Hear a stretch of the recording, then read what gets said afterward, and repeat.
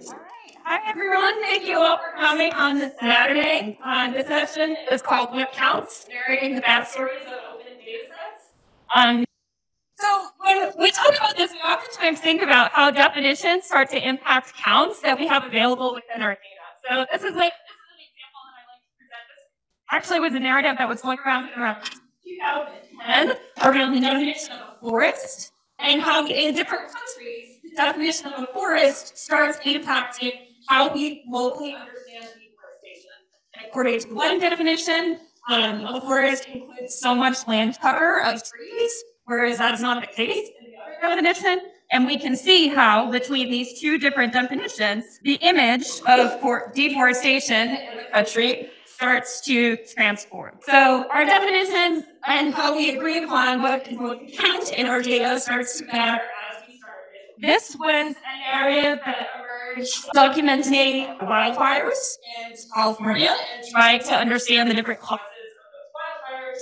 And we were analyzing the data and she was basically going in and she was mapping how many fires fall underneath one of these cause codes.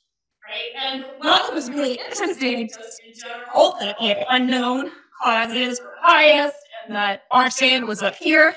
What was really interesting to us was the fact that there was a separate cause code between campfire and illegal alien campfire. And we started to ask ourselves, why that Why is there instead of category, when that category could not just be looked into one category campfire. And when we started doing some research and started to understand some of the backstory of this data, we found out that that uh, category versus 2005, right around the time that it's. So we can see how these kind of different political histories. So this brings us to this kind of feature that data does not exist without a group of people um, making categorical judgments about what as a wildfire cause code. All of these things. Um, we started thinking about it as a trying to put our data in. Right? So a lot of times dominant discourse encourages us to eliminate bias in data work. I think that this is a really important thing I also think that sometimes that language described us for paying really close attention to some of the critical contexts of data. Because all data sets have complex cultural histories. You can't have a data set that doesn't have these kinds of examples of people designing what counts underneath it. It's always going to be there. And so this idea of eliminating bias to be somewhat of a diversion, one, because it's impossible, and two, because sometimes we talk about it without train, it can be problematic because it positions judgments as non-existent, right? It enables us to say, oh, this data is when in fact it's always going to have these that and I'm not paying as much attention to what um, so this topic is really about data It's an idea that any more critical um, examinations about when finds were okay with the area So what is ethnography? So some of us uh, name through this term long amount of a lot of time that it's recently I'm trained as a cultural anthropologist. My understanding of in the 1980s around Christian and um, specifically my scholarly years. Um, ethnography is the study of cultures. Um, a culture is often defined as a semiotic, specifically yeah, okay. So what that means is that oftentimes what ethnographers are trying to understand is the meaning behind certain actions and behaviors that people so we're referring to it as audit to really focus on all of So at, at the like service level, if I were to meet somebody, you might say, oh, she closed one eye. Right? But oftentimes we have a lot of cultural meaning that is associated with me closing one eye. Right? It could mean that I'm lying to you, it could be that I'm joking with you, it could be all sorts of other things. And it's through from she closed one eye to understanding that that has certain kinds of cultural things behind it right?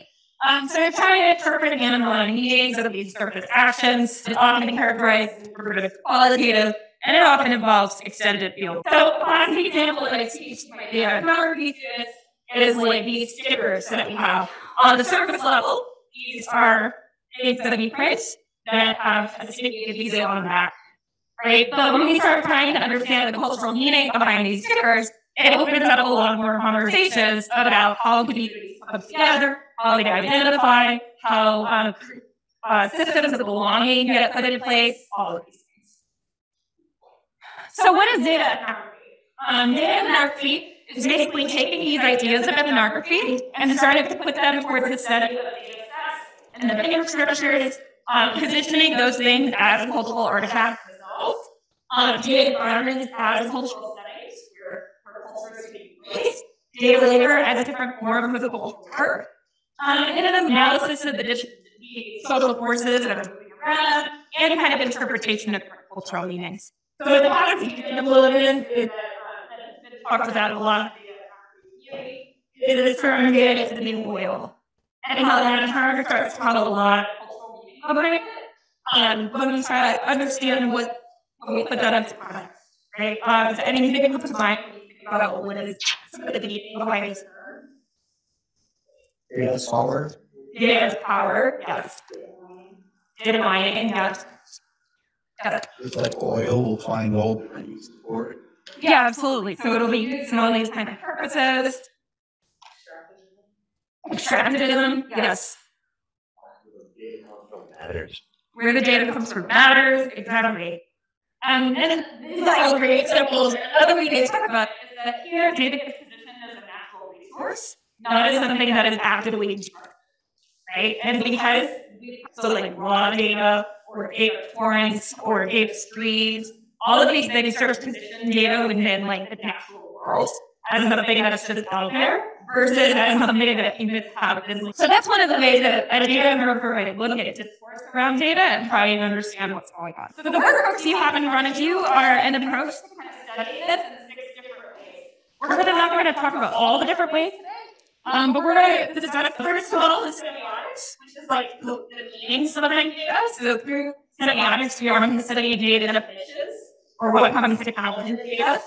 Uh, different forms of labor, this involves the progression of data. Uh, different infrastructures that shape and underpin data. The discourse that surrounds data. Rituals that are engaged in the progression of data. And then the way that different advocacy comes to shape data. So I'm going to these examples. The first is New York City Stop question. So this data set uh, documents every New York Police Department stop since 2003 and it includes information as to the reason for the stop, demographics use this data uh, in the 2000s to show that stops had increased 700% between 2002 and 2011.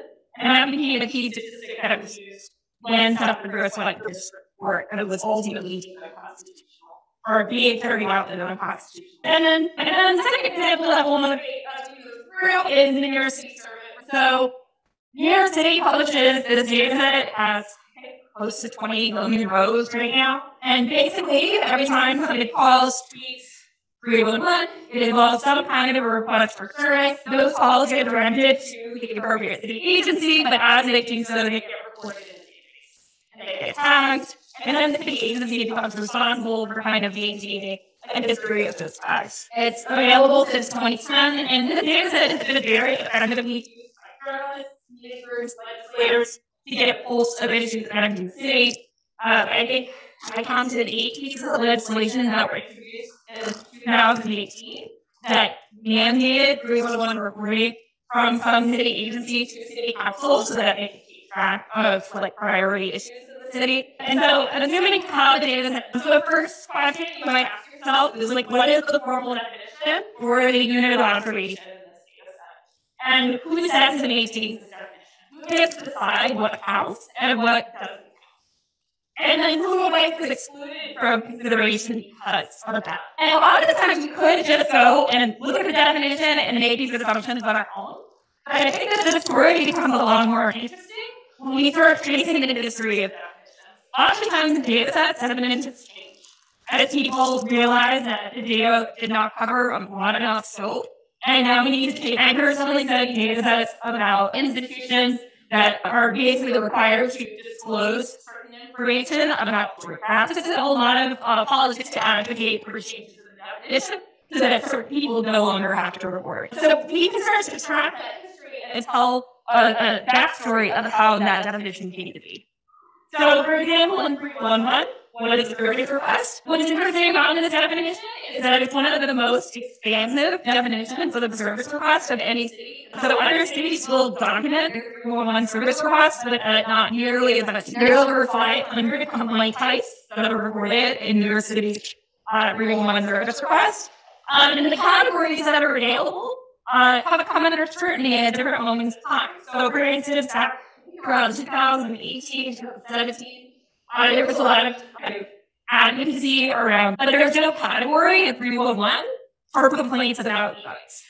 And so you had different legislators across the city, different uh, city agency members that were coming out and saying we needed a category of the data so that we can produce statistics that show that there's a problem with And then you had other folks saying, no, we can't do that. You know, these categories are already set in stone, this is going problem. And in that kind of political lobbying, starts to literally. And then the other really key thing about uh, Council 301 is that NYCHA does not pass.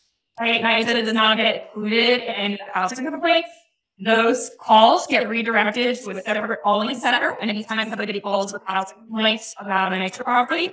And so because of that, when we go, we look at housing complaints state, we're not actually capturing information about some of the uh, areas where there might be the most housing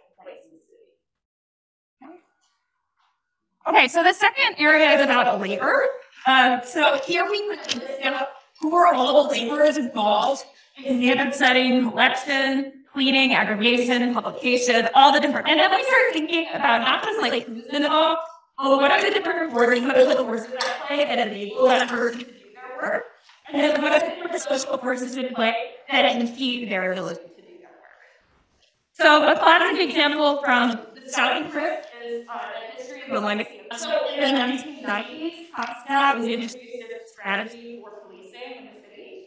And basically what this did was, as a mechanism of accountability, different precincts were required to produce statistics that would show reductions in crime. And if they are unable to produce these statistics that were showing enough stops, it incentivized over policing of the cases, it incentivized creative efficiency practices, and because we have this kind of unique percepts that asks us to pay attention to individuals that, are uh, that are calling and everyone, that are creative issues. We think so one classic example is ton of research that has been trying to understand the extent to which gentrification might play a role in the number of 311 calls that happen. And there has been some research that indicates that folks in communities that are more actively gentrifying are have or uh, higher predisposition to all real cases, and numbers will appear higher there. There's another really interesting story that appeared in the New York Times in 2018 about this kind of month-long period in April where there was a specific, uh, suspicious number of calls that were coming in on a single day on a single strip street about illegal sign complaints in these neighborhoods. Um, there's a law in New York City that your signage not go six feet beyond. It's a law that no one really pays attention to anymore. However, during this one month in April, a lot of these complaints needed and they needed to hold on single streets um, on single days, which suggests that there may have been one person that was actually going through and systematically reporting about illegal signage However, all of these calls are anonymized, so we can't know this for sure. We can only speculate that it may be an independent person that uh, serves to benefit from the fines that show up to these small on the shots of the uh, areas of the city that public residents give us to owners, presidents, none of these things. You don't know for sure. Um, and that's one of the next pieces on infrastructure.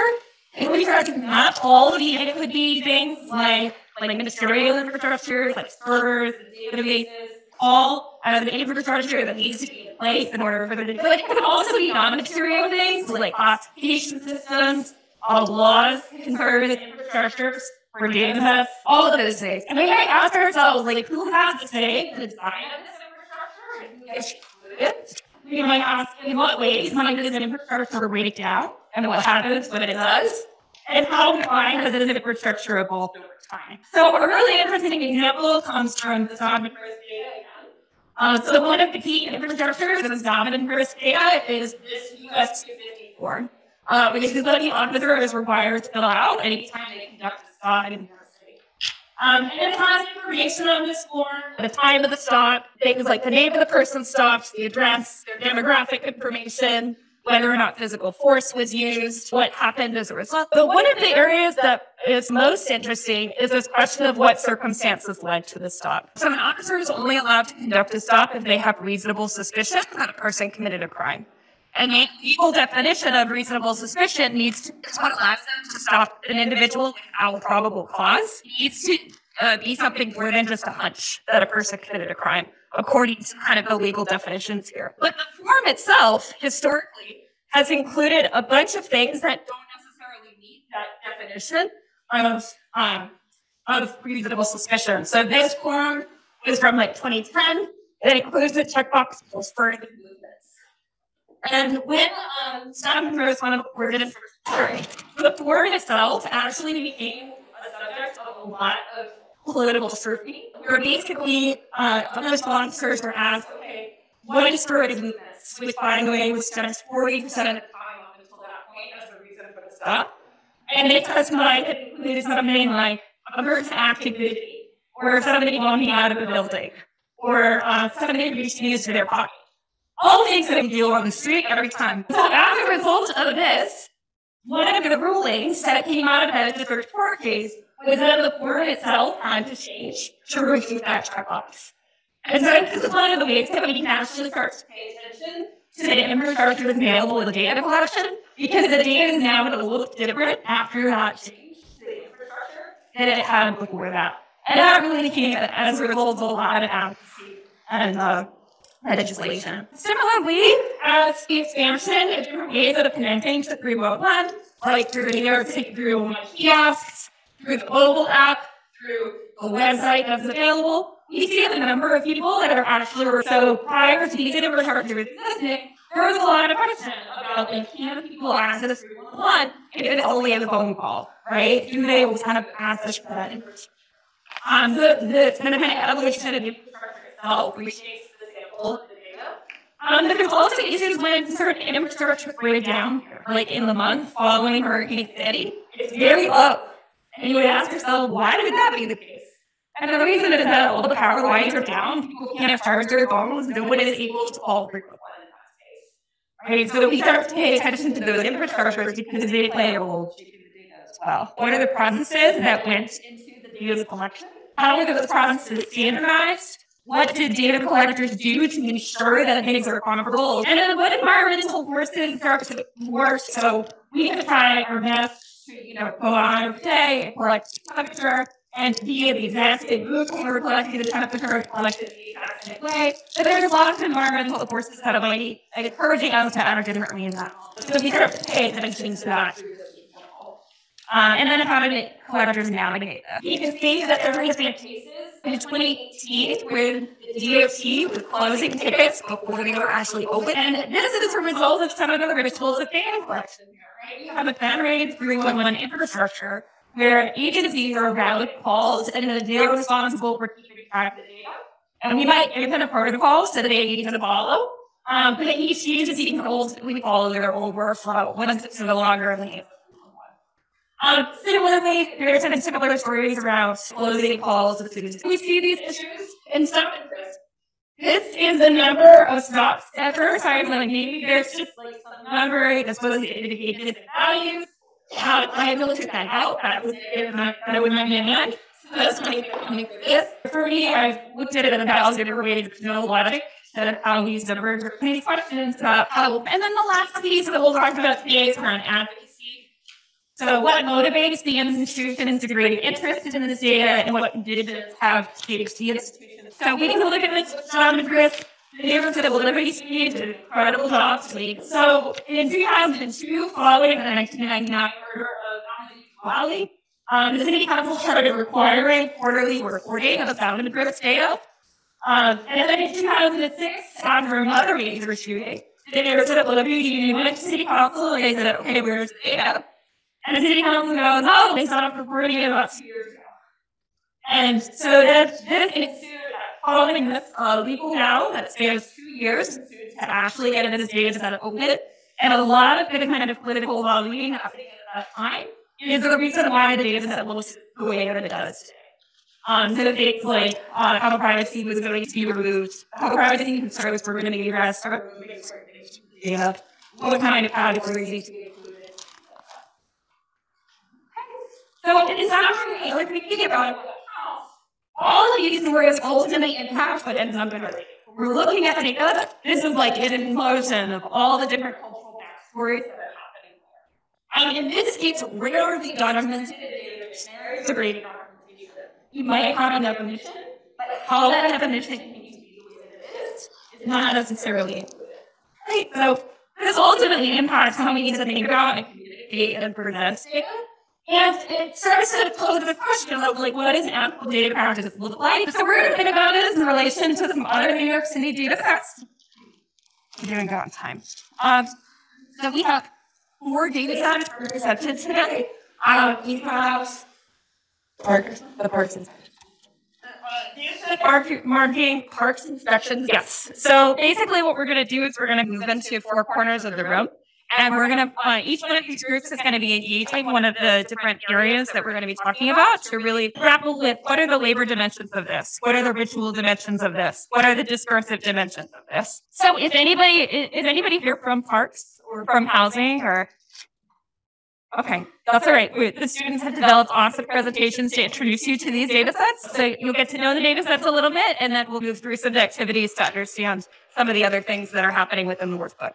Um, so we'll probably have park inspections go back here. Um, we'll have uh, tree census right here. We'll have the housing maintenance codes back there, and we'll have green thumbs over in this corner right there.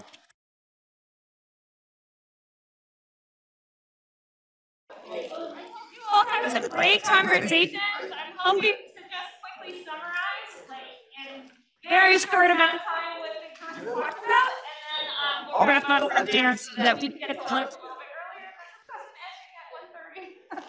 Um, so Mayo, maybe you want to get us started? Yeah, we talked about slow parks discussion data set. Uh, we talked a lot about the definitions of cleanliness and the definitions go into like how you inspect a park and like a lot of like how do you train someone to inspect a park? Do they have to walk the same route every time? Do they have to like look for the exact same things every time? And just the idea of the semiotics that go into the production of that data.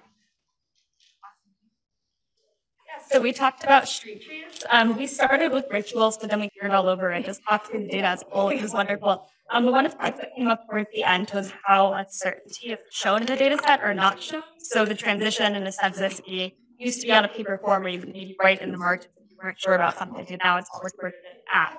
So like, is the data as certain as it looks, or is there a level of uncertainty of like, is this actually a red oak that we don't necessarily see interpreted things into the database? Often there's a lot of it lost I was just gonna add, going on, like, what Lawrence and what, like, is the in the data set, in two thousand fifteen, the way that they were categorizing it was, they're separating it to volunteers are in a different, like, group than, like, people that are part of the parks department versus people that might be like tree aficionados, things like that. And so that, I think that was the way that they, it wasn't like, oh, you're sure this is a red maple or whatever. I don't know. Something about trees, but, um, the way that it wasn't just like that, like that and so we just thought that was very. So my group worked with the hazard code maintenance violations. And the two big things that really stood out in our group was we looked at through the framework infrastructures. So the first big one that was mentioned was this idea of how complicated it is to even report a violation, get follow through from a building inspector, and then having to take it to court. All of that being just such a mess and all of these factors of if you work nine to five, like how is that going to happen? If you work multiple jobs, like how can you balance all of that, still have heat? And the second big one was this idea at a smaller scale of like how surveys are being conducted, who are the building inspectors, how are they taking surveys on sheets and reporting this information if the tenants speak different languages, how are they communicating, what's their training, and so a lot of uncertainties in that sense of like how to even understand how information is being classified as being an emergency or not for this particular data set. Argus talks about Green Thumb, and that is a data set that deals with New community gardens. And we have the ad- advocacy activity. So we talked a bit about the history, who had high stakes, low stakes, high influence, low influence. And just to sum up what we found that at the beginning, there's a very clear individual or group that has high stakes and also high influence. However, over time, it becomes less clear as, for example, governing bodies that can change rules and regulation of leasing gardens aren't always very apparent and visible. So then that leads to like issues of like contracting and these gardens getting removed in huge droves because housing things and wanting property. And then as well, um, we have to think about like the maintenance of these gardens and how that's more than just, okay, you have to follow all these rules to get approval by Green Thumb and be considered a Green Thumb garden. How do you like deal with water? How do you deal with the soil and all those kinds of things? So we just broke that down and thought about legal stuff and like actually running the gardens as well. I think that said uncovered it all. Okay, to wrap the first session, I'm just going to open it up for any last questions, if anybody has any. All right.